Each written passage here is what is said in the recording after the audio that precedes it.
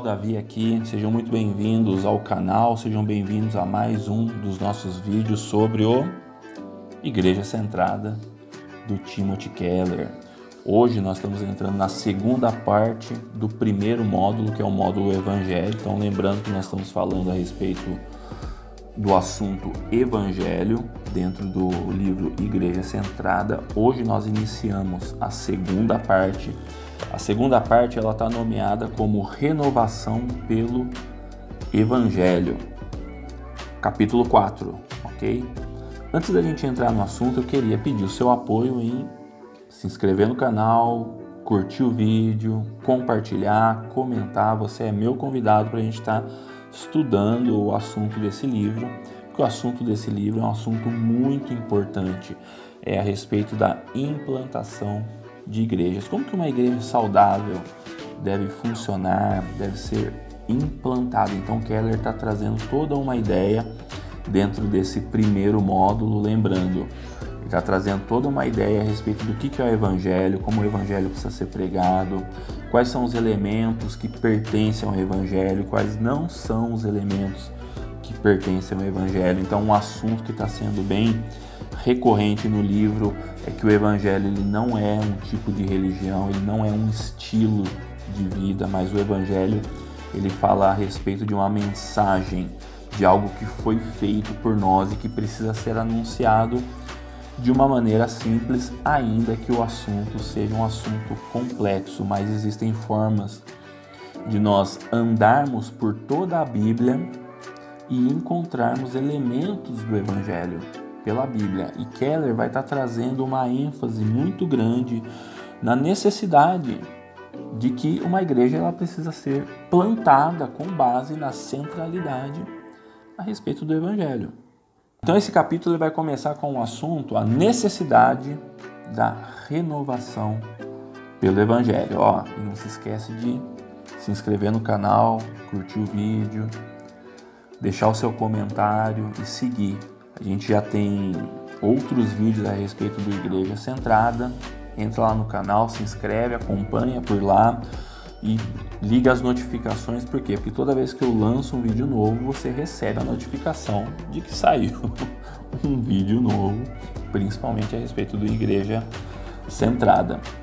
Então Keller vai começar essa, esse assunto da necessidade da renovação pelo Evangelho com a seguinte citação.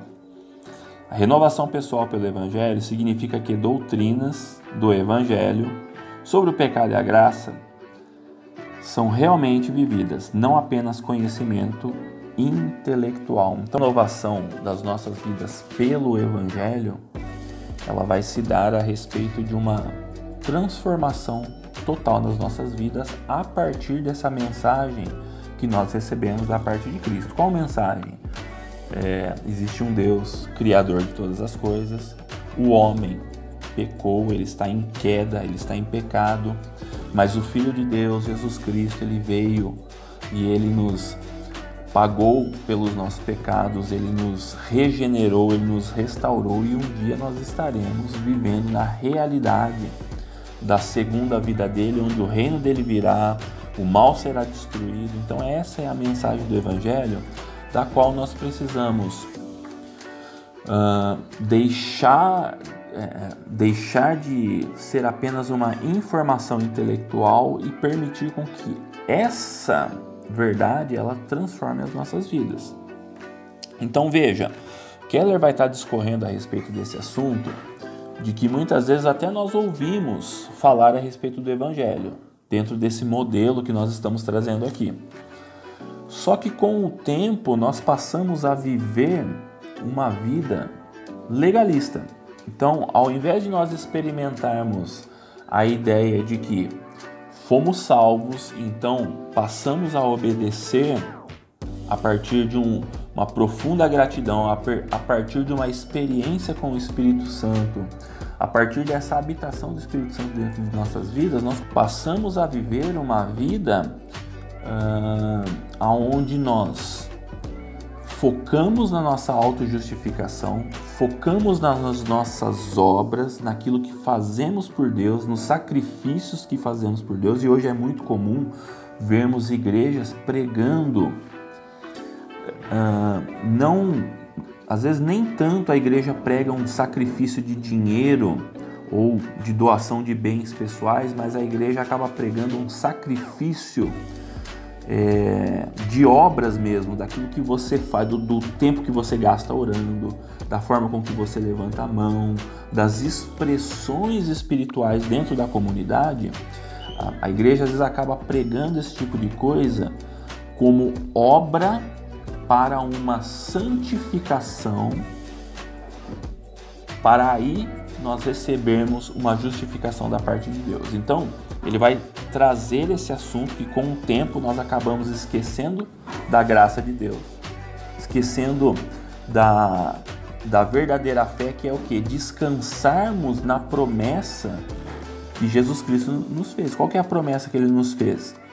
Que dentro da aliança, da nova aliança que ele faz conosco, ele nos daria um coração de carne, aonde os mandamentos dele seriam escritos no nosso coração.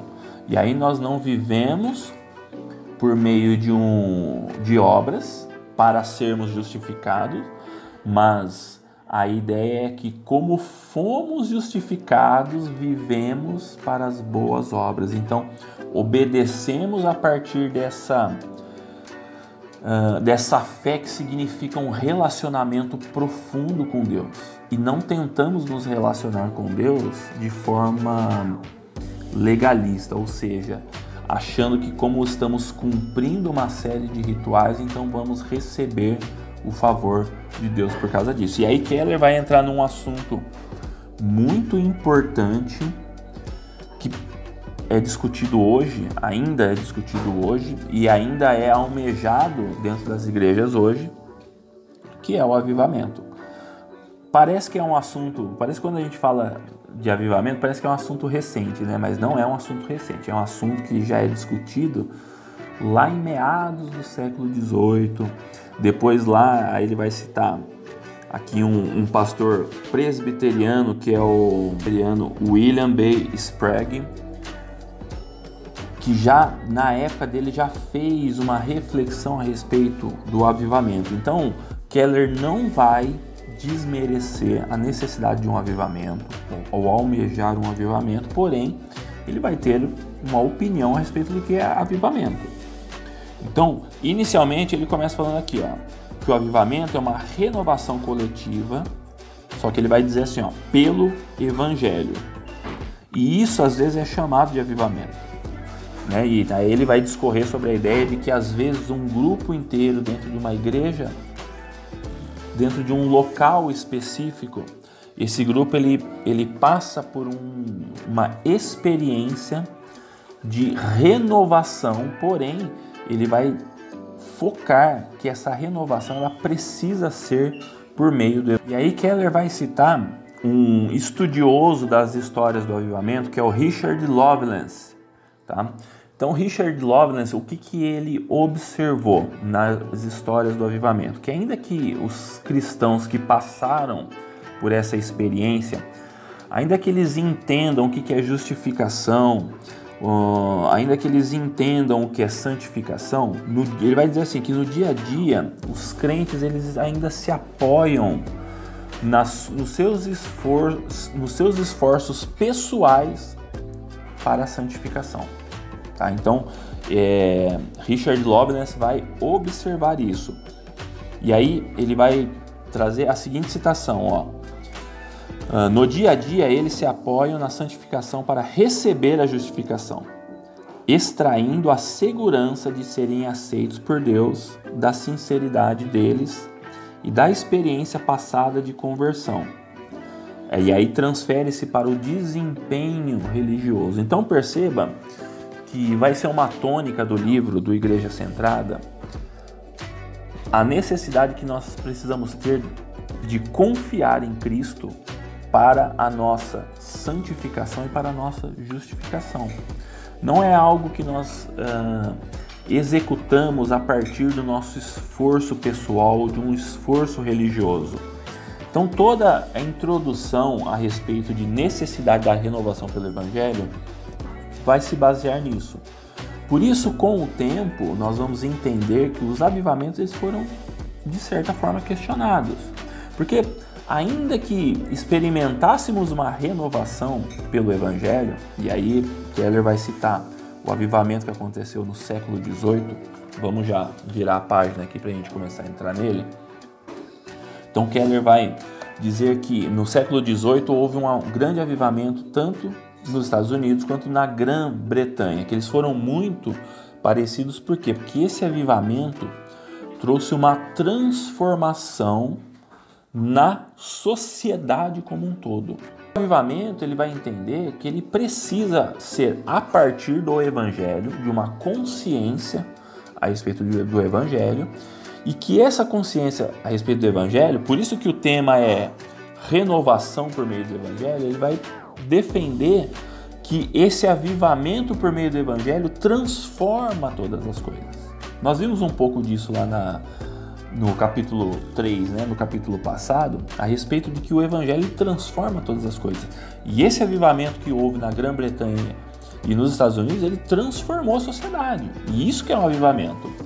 Porque a própria sociedade começa a ter a consciência a respeito do que é o pecado e que precisa se voltar para o seu Salvador, que é Cristo. Porém, os próximos avivamentos, então Keller vai estar tá, é, trazendo um debate que foi que foi um debate trazido por William B. Sprague, como eu citei anteriormente, um pastor presbiteriano. E esse pastor ele trouxe uma reflexão a respeito de algumas coisas que outros avivamentos históricos trouxeram para dentro da igreja que eles entendem que não foram bons.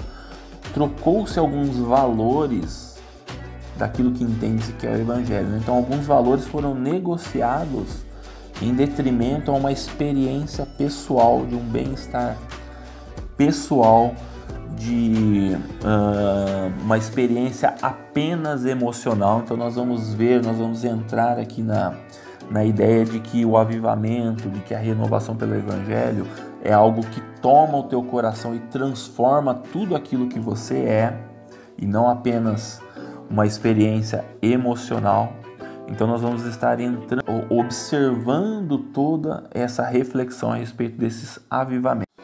Então, entrando no tópico análise dos avivamentos, é aonde ele realmente vai discorrer a respeito do assunto do avivamento do século XVIII que aconteceram ali na Grã-Bretanha e nos Estados Unidos, onde ele vai dizer que houve uma transformação cultural na sociedade. E isso é muito interessante. Uh, realmente trouxe, ele vai dizer que trouxe um grande impacto para a sociedade, houve uma transformação cultural na vida das pessoas. E aí, em Nova York, ele vai citar esse pastor, o William B. Sprague, que é um pastor é, era um pastor presbiteriano em, em Albany, na cidade de, de Nova York. E aí ele publicou um, um artigo que é denominado Em Defesa dos Avivamentos, dos Reavivamentos, é, Em Defesa dos Reavivamentos, respondendo a diversas objeções e tratando muitas das críticas mais comuns ao avivamento. E aí, olha que interessante essa frase: o avivamento não é uma curiosidade histórica, é um padrão sistemático de como o Espírito Santo trabalha numa comunidade para impedir ou contra-atacar a natureza do coração humano. Então a ideia que eles vão tratar aqui é que antes do século XVIII a fé cristã ela era basicamente herdada então ele vai dizer aqui ó, que uma pessoa tornava-se cristã por meio de um processo coletivo, gradual, formal e completamente centrado na igreja. Primeiro o bebê era apresentado por sua família para ser batizado. Seguia-se então um longo período de catequese sobre o histórico de crenças e tradições dessa igreja. Então, antes desse primeiro avivamento, era muito comum nessas comunidades um pouco mais rurais que a fé ela fosse herdada. Então, ou seja, você é cristão por quê? Porque os seus familiares eram cristãos, seu pai e sua mãe eram cristãos, você era inserido na comunidade evangélica ali. E por meio de, de todo esse processo uh, de linha de produção, você herdava a sua fé dentro do cristianismo.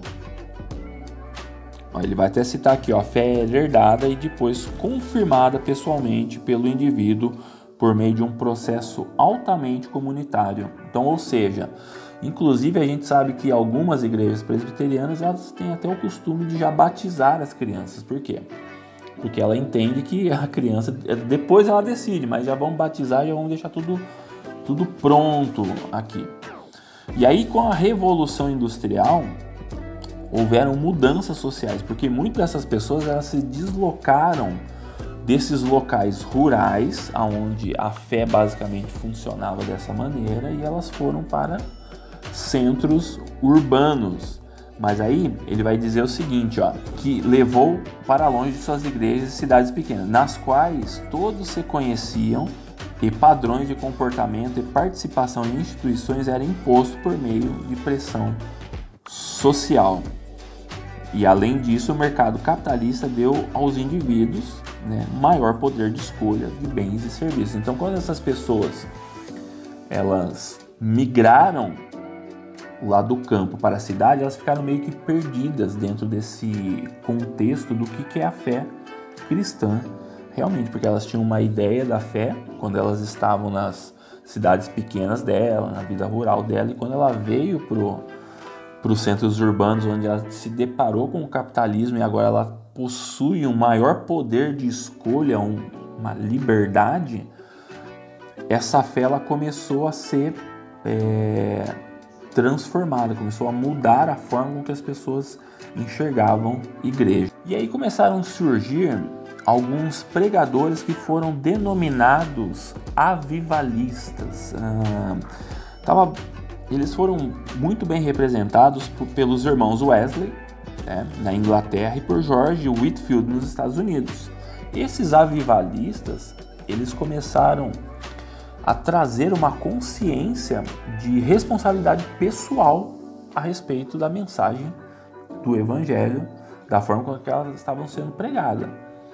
Então, essa responsabilidade pessoal, né? Então esses líderes, eles ressaltavam bastante as decisões pessoais e aí eles iam incorporando essas famílias, essas pessoas que iam tendo esse contato com o evangelho, esse contato com o evangelho, então essas famílias começaram a ser incorporadas às igrejas a partir dessa experiência mais individualizada, onde é o próprio indivíduo que ele está conhecendo, está se deparando com o Evangelho, convertendo-se, entregando sua vida para Cristo, então agora você é incorporado ao corpo de Cristo. Note a diferença de como era tradicionalmente dito, que era uma fé herdada, havia uma imposição da sociedade sobre costumes e agora foi trazido a responsabilidade pessoal, o indivíduo. Olha, agora é você e Deus. Então, esses avivamentos começaram a trazer essa característica e essa transformação na forma de olharmos a fé. E isso é muito interessante. Ainda que nós temos as críticas, que é as quais nós vamos entrar agora, nós não podemos negar que o evangelho, que o avivamento quando ele possui um modelo a partir do evangelho, que é a transformação da vida da pessoa e essa transformação no coração, ele torna-se mais eficaz. Diferente de você ter uma fé mecânica que foi herdada por alguém, alguém te deu aquilo e às vezes você e você às vezes nem conhece, você nem experimentou. E aí você tem que em algum momento da sua vida você vai ter que lidar com aquilo, diferente desse impacto do chamado avivamento, onde você se depara logo de cara com o evangelho. Claro que nós vamos ter as críticas, eles vão agora nós vamos entrar uh, um pouquinho nas críticas. Olha o que, que o livro vai estar tá falando. Depreciadores dos avivamentos diziam que o passar do tempo, a ênfase na conversão no avivamento acaba minando a capacidade da igreja de instruir e disciplinar os seus membros. Então, essa era uma das críticas ao avivamento. Com o passar do tempo, como você tem uma grande quantidade de pessoas vindo para a fé, as igrejas estão com dificuldade de lidar com a vida das pessoas, com a vida de santidade das pessoas. Então elas não estão conseguindo discipular e, e nos dias de hoje nós vemos igrejas que têm dificuldade com isso.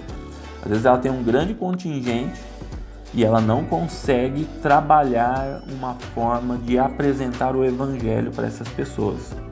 Essas pessoas se depararam com a fé, nós não sabemos se elas houve transformação de vida para elas e às vezes a gente tem a dificuldade de lidar com essas pessoas.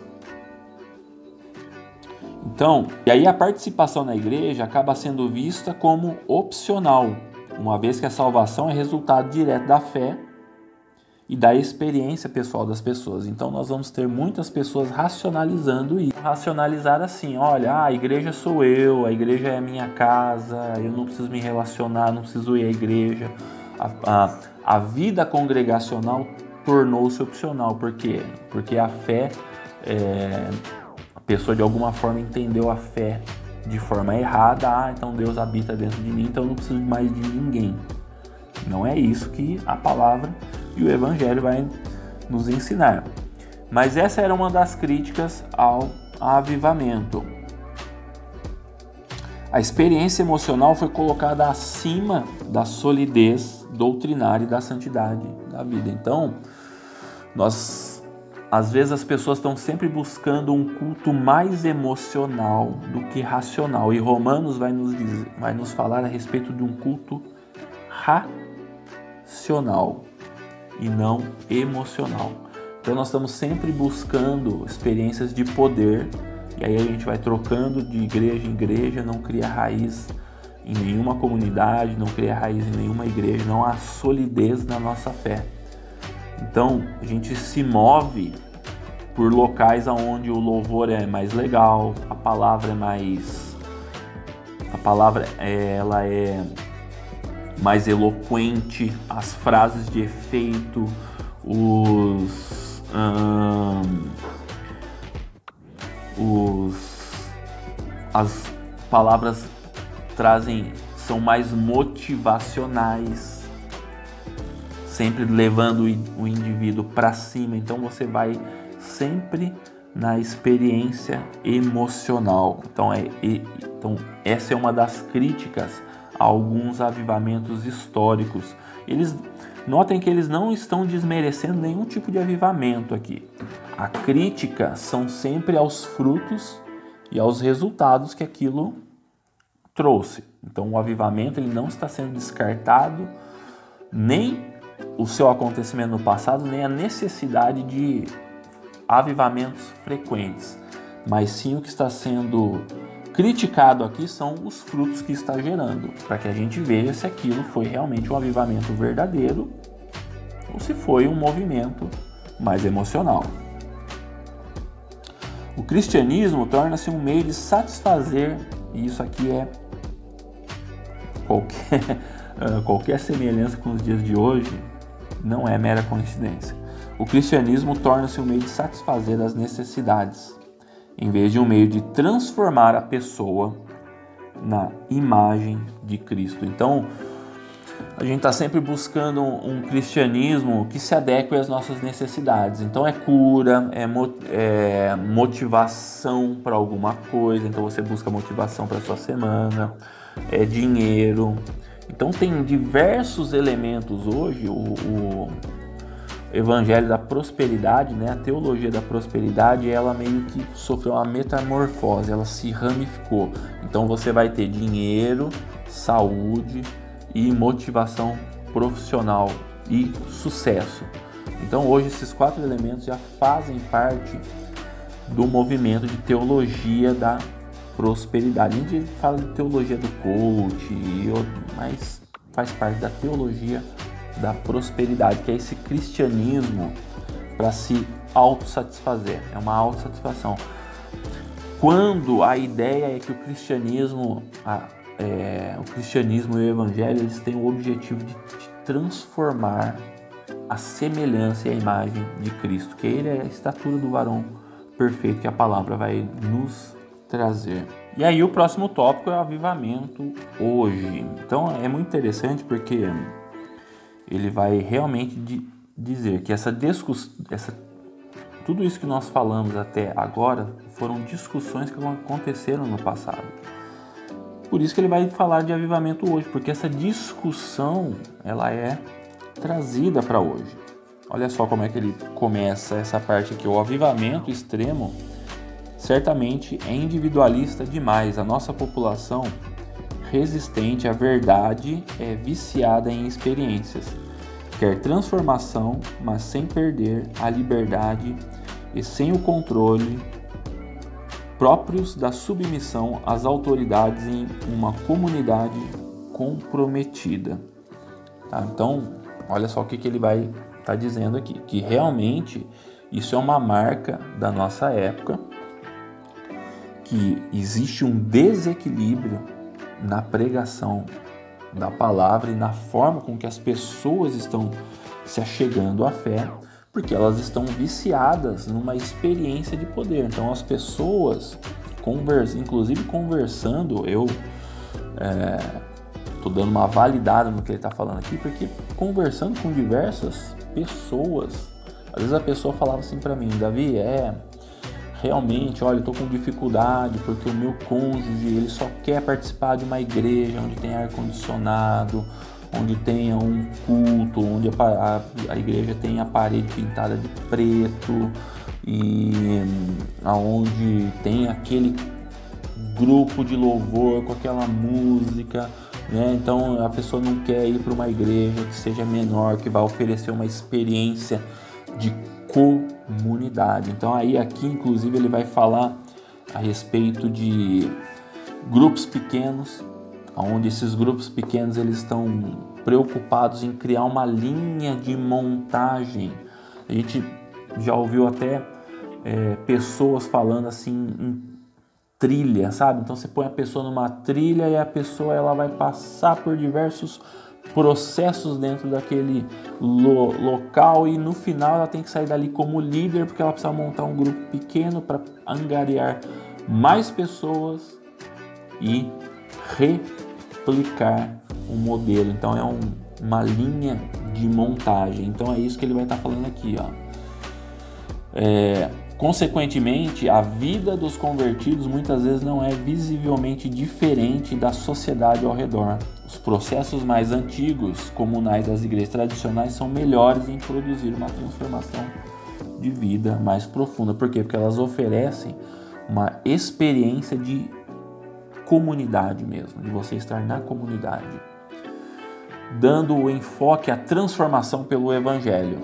Cada um vai responder no seu tempo, na sua hora, mas você precisa ter a disposição para estar cuidando daquela vida em especial. Então não adianta a gente achar que a gente vai pôr a pessoa numa linha de produção e a pessoa vai sair do outro lado já um líder, um pastor, e vai montar uma igreja e o ciclo. Então é, é, isso é um dos males que um entendimento errado do avivamento traz para dentro do nosso meio cristão, do nosso meio evangélico, para ser mais específico.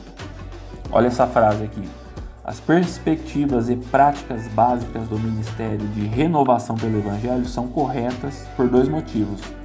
Ajustam-se aos nossos dias e concentram-se no coração de um modo bíblico. Concentram-se no coração da pessoa.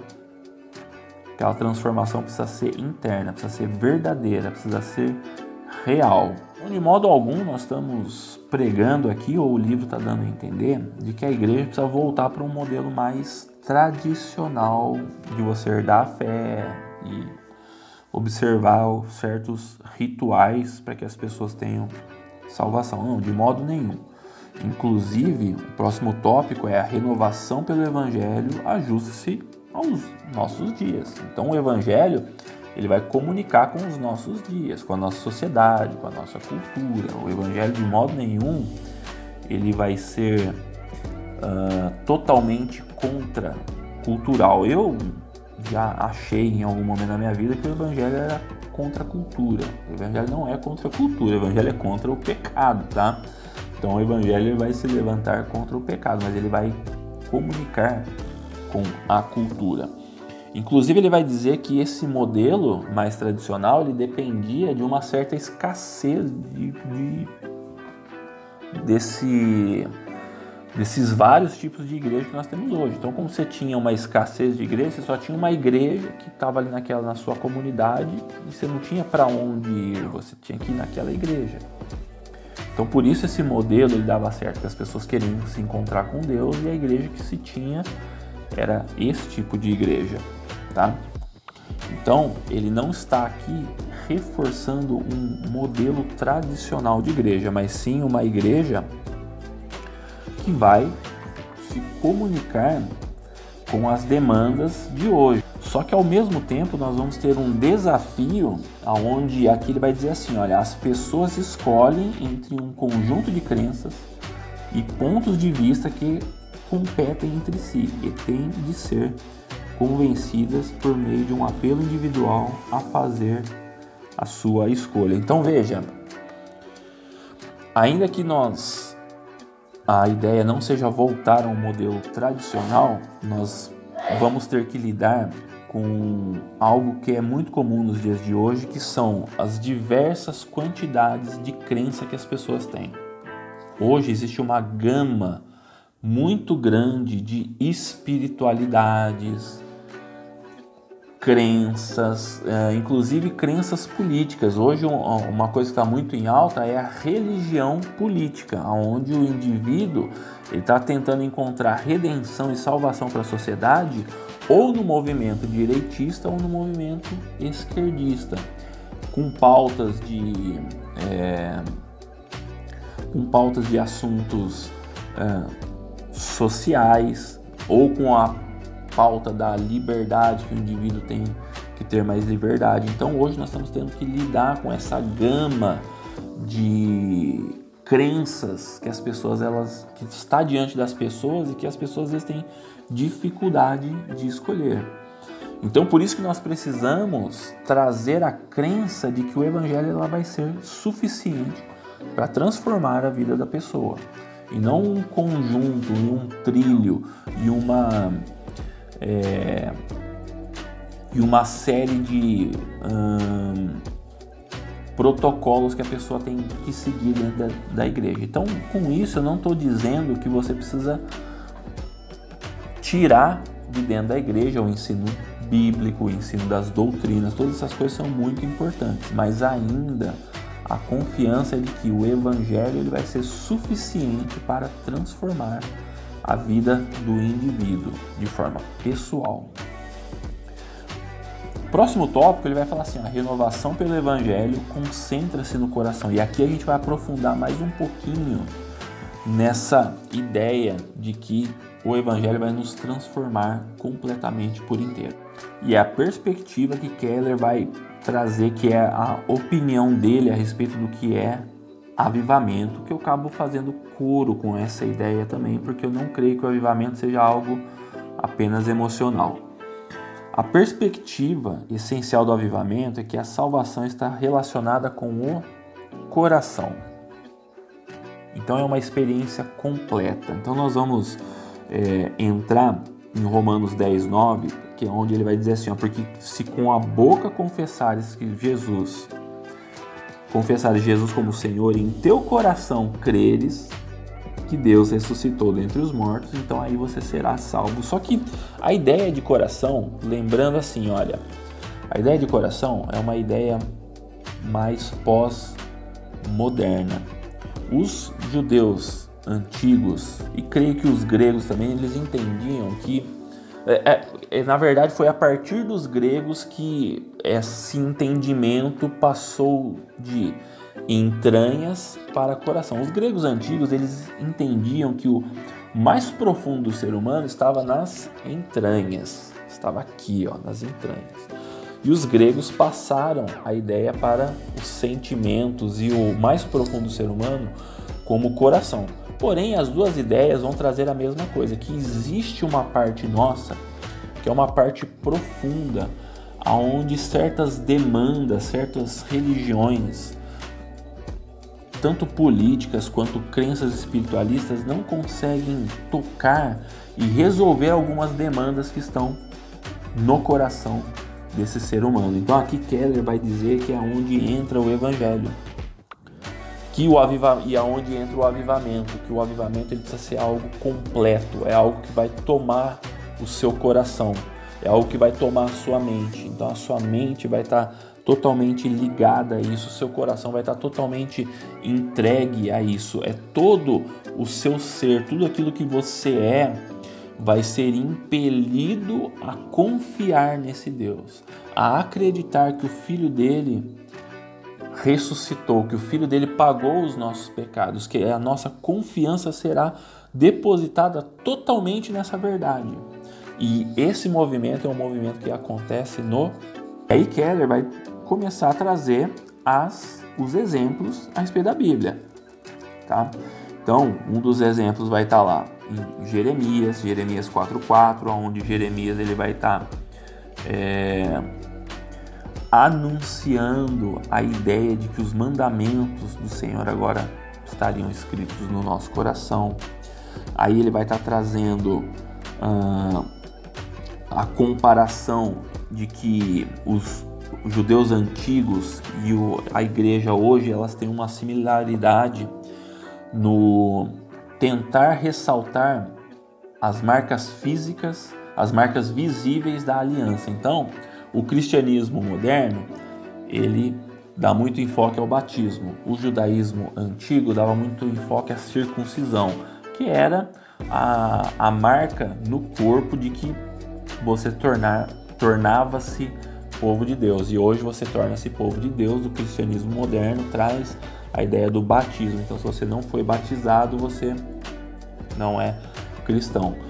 Paulo vai estar tá desconstruindo, e aí ele vai trazer aqui que Paulo vai estar tá desconstruindo essa ideia de que uh, o batismo precisa ser o batismo de fogo, você precisa ser batizado por completo, não só com água. Você precisa ser transformado na sua maneira e modo de agir. E isso vai estar trazendo até uma discussão a respeito do que é evidência a respeito do batismo com o Espírito Santo.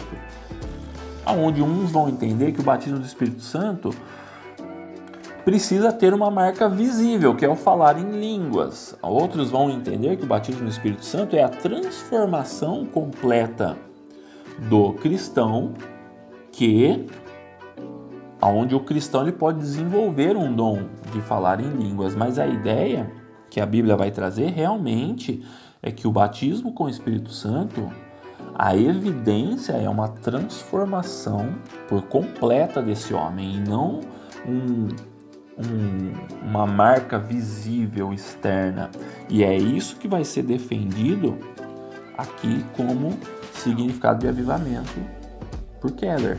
É algo que acontece no nosso coração. A renovação por meio do Evangelho ela precisa vir dessa transformação completa do ser humano. E não existe um padrão para isso, não existe um trilho que você possa criar para isso. Isso é algo individual de, de cada pessoa experimentando um relacionamento pessoal com Deus. Isso é algo individual, por isso na, nós precisamos ter uma comunidade saudável, porque a comunidade saudável nós vamos ser recebidos e acolhidos e ali dentro seremos transformados e teremos relacionamento uh, com as pessoas.